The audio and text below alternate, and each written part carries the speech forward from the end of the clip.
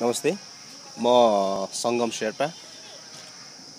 म ताप्लेजुङदेखि काठमाडौँमा आएको अठार वर्ष पछाडि चाहिँ नि पर्यटन क्षेत्रमा सङ्घालिएका अनुभवहरूलाई र अब भविष्यमा आउन सक्ने पर्यटकहरूलाई कस्तो किसिमको सेवा सुविधा दिने र हाम्रो देशको युवाहरूलाई स्वरोजगार कसरी गराउन सकिन्छ भन्ने चाहिँ नि विषयमा धेरै वर्ष चाहिँ नि अध्ययन गरेर के गर्न सकिएला भन्दा अनि अन्तिममा मैले चाहिँ जति बेला म टानमा थिएँ दुई हजार पन्ध्र सत्रको बेलामा चाहिँ अर्ग्यानिक एग्रो टुरिज्म प्राङ्गारिक कृषि पर्यटन विकास अवधारणा भन्ने एउटा अवधारणा मैले विकास गरेँ।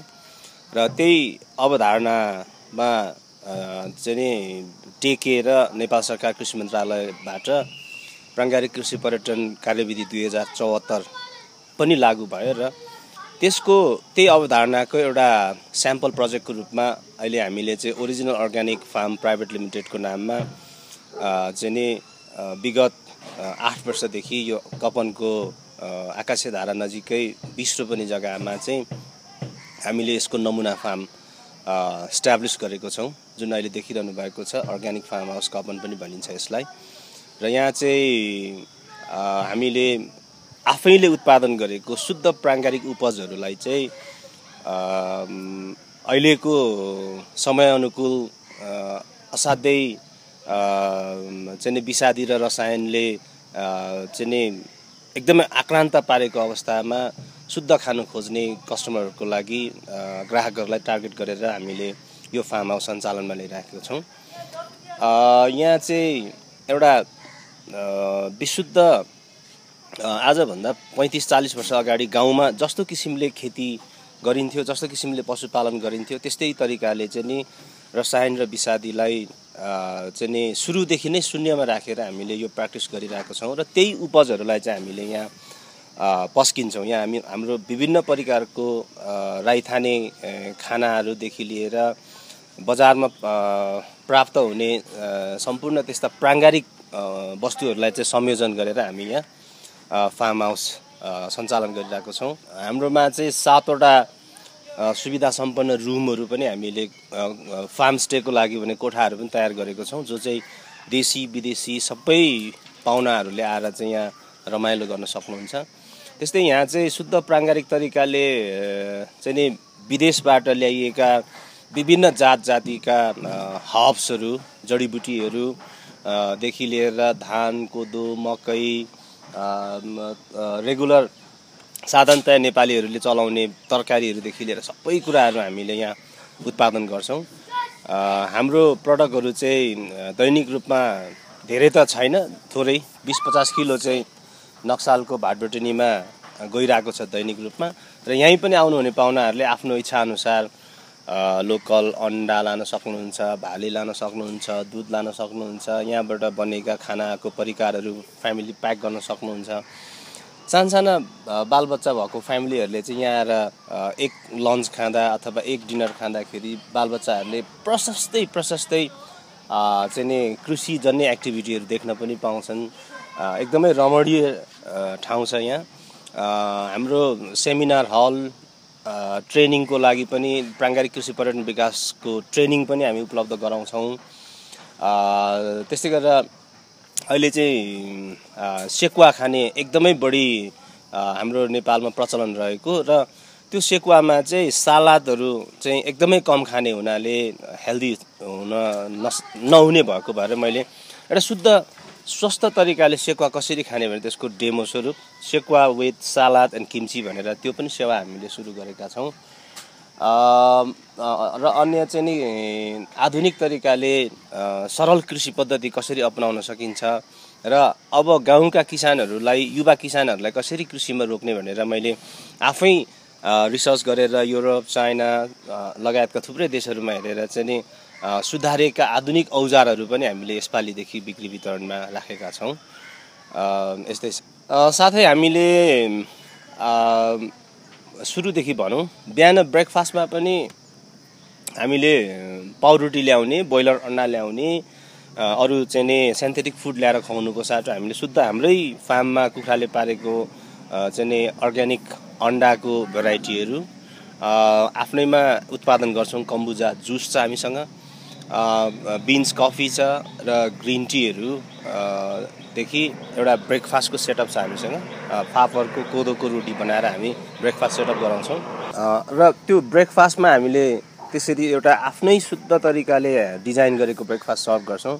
त्यसै गरेर लन्चको कुरा गर्नुहुन्छ भने यो आफ्नै खेतमा फलेको धानको चामल यहाँ हाम्रै फार्ममा उत्पादन गरिएको चिकन अथवा अरू किसिमको भेजिटेबल्सहरू संयोजन गरेको एउटा शुद्ध प्राङ्गारिक लन्चको प्याकेज छ हामी त्यो पनि दिन्छौँ। त्यसको त्यस्तै गरेर डिनरमा पनि हामीले पाहुनाहरूको स्वाद अनुसार के खान चाहन्छ नेपाली नै डिनर खाने भए त्यही अनुसारले मासु भात दाल तरकारी अचार हुने भयो होइन?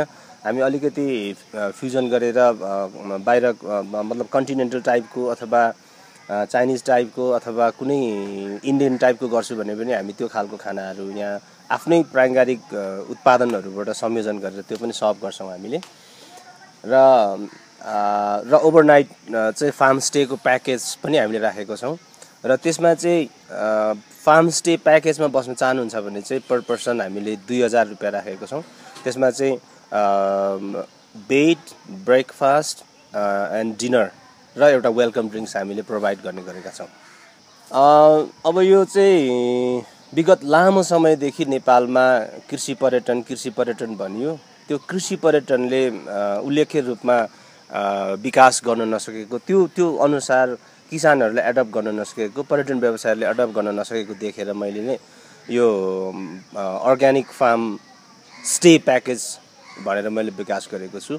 होमस्टे होमस्टे भन्यो। होमस्टेले पनि बिस्तारै बिस्तारै गएर चाहिँ त्यहाँ एक खालको नराम्रो खालको बिहेभहरू बढी बढी जाँड खाने होला गर्ने। अनि त्यही गाउँका चाहिँ नि छोरी चेलीबेटीमाथि चाहिँ नि अलिकति नराम्रो खालको व्यवहारहरू चाहिँ वृद्धि हुँदै गरेको देख्दा होमस्टेको विकृति आयो भन्ने मेरो बुझाइ हो।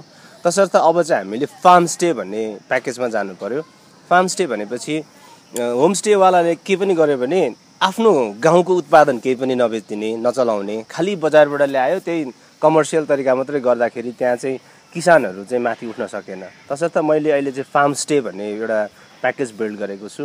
हामीले फार्म स्टे गर्दाखेरि चाहिँ जसको फार्म स्टेमा गएर बसौँ त्यही फार्म स्टेमा फलेको चिजहरू त्यहीँ उत्पादन गरेको सबै खानेकुराहरू संयोजन गरेर खुवाउन सकियो भने चाहिँ यसले अरू बढी पपुला पपुलारिटी अथवा आर्थिक रूपमा ग्रामीण भेगमा समृद्धि आउँछ भनेर फार्म स्टेको डिजाइन गरेको हो। र यो चाहिँ स्याम्पल प्राङ्गारिक कृषि पर्यटन विकास अवधारणा अन्तर्गतको स्याम्पल फार्म स्टे हो यो फर्स्ट टाइम नेपालमा। सम्भवतः विश्वमै यो फर्स्ट टाइम हुनुपर्छ। यहाँ चाहिँ जो फार्म स्टेमा आउन चाहनुहुन्छ उहाँले शुद्ध ग्रामीण भेगको फिलिङ्स गर्न सक्नुहुन्छ। हाम्रोमा गाई छ बाख्रा छ कुखुरा छ बटाई छ। एउटा पारिवारिक वातावरण मेरो परिवारै यहीँ बस्छ हामी पारिवारिक वातावरणमा हामीले चाहिँ शान्तसँग राखेर बस्ने खाने बेलुका क्याम्प फायरको व्यवस्था चाहिँ सानोतिनो म्युजिक बजाएर बस्ने सबै कुराहरूको व्यवस्था गरेको यो चाहिँ एउटा स्याम्पल प्रोजेक्ट हो। कोसेली घरको कन्सेप्ट चाहिँ मैले विशेष गरेर यहाँ हाम्रो मेरो फार्ममा मात्रै होइन। यो एउटा स्याम्पल फार्म भएको भएर यस्तो कोसेली घरहरू पर्टिकुलरली सबै पार्टमा सबै प्रदेशहरूको सबै गाउँपालिकाहरू नगरपालिकाहरूको वडापालिकाहरूमा चाहिँ एउटा एउटा कोसेली घर राख्नुपर्छ भन्ने अवधारणा हो। त्यसै अनुरूप मैले पनि मेरो फार्म स्टेको एउटा कोसेली घर राखेको छु। मेरो कोसेली घरमा चाहिँ जो मान्छे यहाँ आएर जे जे चिज खानुहुन्छ देख्नुहुन्छ त्यो चाहिँ नि मेरो नियर एन्ड डियरलाई मेरो साथीलाई मेरो बालाई मेरो मम्मीलाई मेरो फ्यामिलीलाई खुवाउँछु भनेर लाँदाखेरि चाहिँ नि पाउने एउटा ठाउँ हो जहाँ चाहिँ यहाँको शुद्ध उपजदेखि लिएर नेपालैभरिको प्राङ्गारिक उपजहरू जस्तो अहिले मसँग मुस्ताङको स्याउ छ किवी छ अब चाँडै मेरो जुम्लाको आलु आउँदैछ ताप्लेजुङको आउँछ सोलुको आउँछ जुन एकदमै ग्रामीण भेगमा उत्पादन गरिएका सबै चिजहरू चाहिँ तपाईँले किन्न पाउनुहुने एउटा प्लेटफर्मको रूपमा मैले कोसेली घरलाई विकास गरिरहेको छु अहिले। मेरो फार्म भिजिट गर्दाखेरि धेरै कुराहरू छन्। पर्टिकुलरली उहाँको जुन भिजिटर्सको इन्ट्रेस्टमा भर पर्छ। कोही बाख्रा पालन सम्बन्धी के रहेछ हेरौँ भनेर आउनुहुनेलाई एउटा आधुनिक किसिमको बाख्रा खोर बनाएको छु बाख्रा पाल्ने सिस्टम बनाएको छु। अब म चाहिँ नि यो फार्म स्टेको विकास गर्छु भनेर चाहिँ हेर्न आउनेहरूले त्यस्तै किसिमको पाउनुहुन्छ। यो सबै कुरा होइन शुद्ध अर्ग्यानिक एउटा गाउँले परिवेशको स्वादिलो खाना खान्छु भनेर आउनेहरूले खाना खानु पाउनुहुने भयो। यो फार्म स्टेमा फार्म स्टे भन्छ बास कस्तो मतलब बस्दाखेरि कस्तो हुन्छ के हुन्छ भनेर आउनुहुनेहरूको लागि फार्म स्टेको फेसिलिटी हेरेर इन्जोय गर्ने। कतिपय चाहिँ फ्यामिली ल्याएर साना साना भाइ बहिनीहरू बच्चाहरूलाई ल्याएर चाहिँ कसरी चाहिँ नै चाहिँ हाम्रो पहिला बाबुबाजेहरूले लिभिङ गर्नुहुन्थ्यो भनेर त्यो फिलिङ देखाउनको लागि आयो भने धेरै धेरै कुराहरू चाहिँ मेरोमा त्यो अनुभव हासिल गर्न सक्नुहुन्छ मेरोमा आउनुहुने पाहुनाहरूले। मेरोमा अहिले मैले सेमिनार हल ट्रेनिङहरू सबै राखेको छु। त्यो विदेशी चाहिँ विभिन्न भलुन्टियर गर्ने सङ्घ संस्थाहरू हुन्छ। उनीहरूले चाहिँ भलुन्टियर गर्न आउँछन् र नेपालको लिभिङ स्टाइल शेर्पा फ्यामिलीको लिभिङ स्टाइल र नेपालको एग्रिकल्चरको चाहिँ नि पद्धतिहरू सिक्नलाई र त्यो सिकेर उनीहरूको देशमा के गर्न सकिन्छ भन्ने बारेमा आउनेहरू मेरोमा धेरै छन्। संसारैभरिका देशहरूबाट आउँछन्। अहिले चाहिँ यो लकडाउनले गर्दाखेरि शून्य छ। र अरू चाहिँ तपाईँको नेपाली एनजिओ आइएनजिओ अथवा जसले पनि ट्रेनिङ वर्कसपहरू गर्ने पनि व्यवस्था मेरोमा छ अहिले। मेरो फार्ममा भिजिट गर्नु एउटा मेरो बिजनेस कति चल्नु नचल्नु एउटा एक पाटो छ। एउटा आफ्नै लागि चाहिँ एकचोटि तपाईँहरू युवा हुनुहुन्छ अलिकति सिनियर सिटिजन हुनुहुन्छ अझै सिनियरहरू हुनुहुन्छ अथवा धेरै साना साना नानी बाबुहरू हुनुहुन्छ भने पनि यहाँ आउँदाखेरि चाहिँ नेपालमै केही गर्न सकिन्छ। र एग्रिकल्चर र टुरिज्म जोइन गरेर बेस बनाएर हामीले काम गर्ने हो भने देश विदेशमा लाखौँ खर्च गरेर वर्षौँ परिवारबाट टाढा भएर चाहिँ जीवन गुजारा गरेर एउटा सानो आर्थिक समृद्धि ल्याउनको लागि जानुहुनेहरूको लागि चाहिँ यो यो चाहिँ नहोस् भन्ने अथवा हाम्रै देशमा केही गर्न सक्ने रहेछौँ भनेर लाग्न सक्ने एउटा ठुलो उत्प्रेरणा चाहिँ यहाँबाट भिजिट गरिसकेपछि पाउनुहुन्छ जस्तो लाग्छ मलाई।